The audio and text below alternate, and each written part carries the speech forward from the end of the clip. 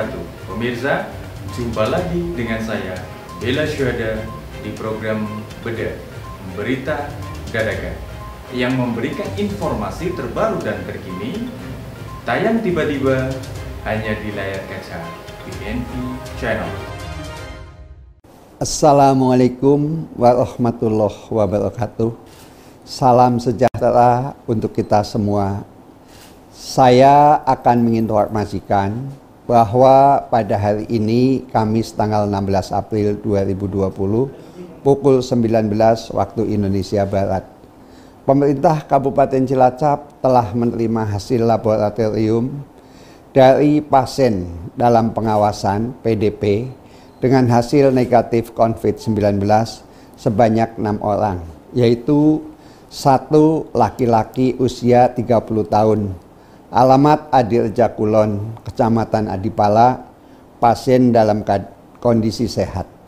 Dua perempuan, usia 42 tahun, alamat Banjarsari, Kecamatan Nusawungu, pasien dalam keadaan sehat. Tiga laki-laki, usia 31 tahun, alamat Sidarja, Kecamatan Sidarja, pasien dalam kondisi sehat. Empat perempuan usia 20 tahun, alamat Bulaksari, Kecamatan Bantarsari, pasien dalam kondisi sehat. Lima anak laki-laki usia 11 tahun, alamat Bantar Mangu, Kecamatan Cimanggu, pasien dalam keadaan sehat.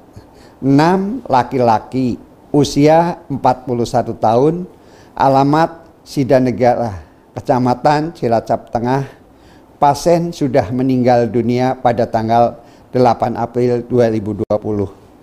Selain itu, pemerintah Kabupaten Cilacap juga menerima hasil laboratorium positif COVID-19 sebanyak empat orang, yaitu satu perempuan usia 37 tahun, alamat Selarang, Kecamatan Kesugian, riwayat kontak dengan pasien konfirmasi COVID-19.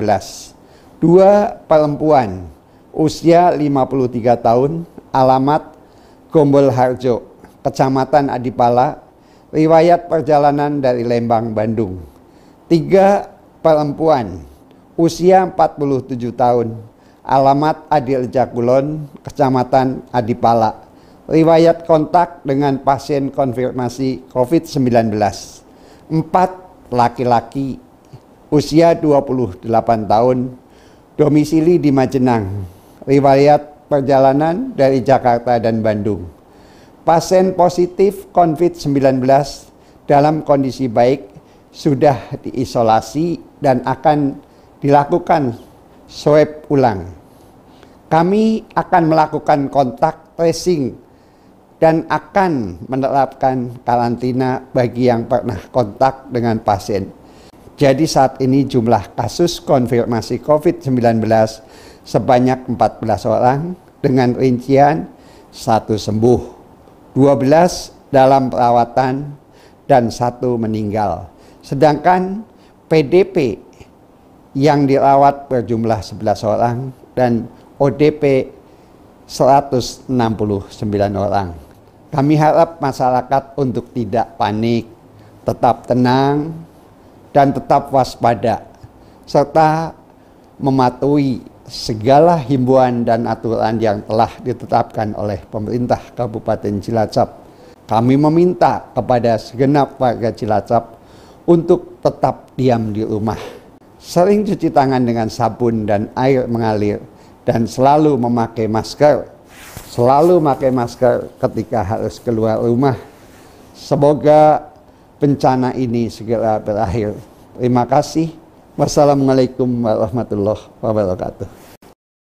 Pemirsa, itu tadi beda berita dadakan. Semoga adanya berita tadi bisa menambah informasi terkini bagi pemirsa semuanya. Saya Bella Syuhada pamit undur diri. Ketemu lagi tiba-tiba tentunya hanya di layar kaca BNP Channel. Assalamualaikum warahmatullahi wabarakatuh.